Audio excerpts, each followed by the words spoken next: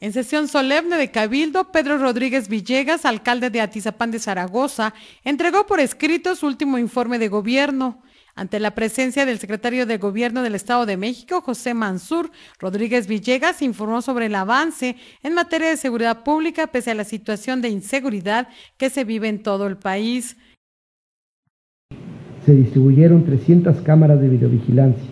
Se implementó un sistema de radiocomunicación TETRA único en el Estado de México y se instalaron 10.000 botones de auxilio.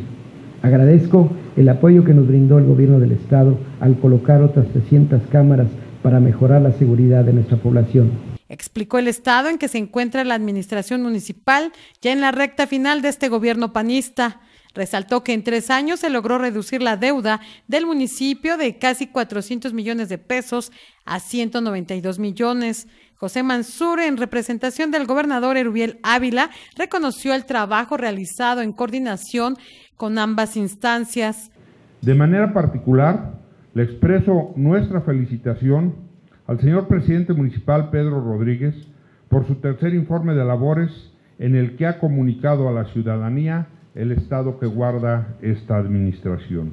Pedro Rodríguez agradeció a la ciudadanía su apoyo y respaldo durante tres años de administración de este municipio mexiquense.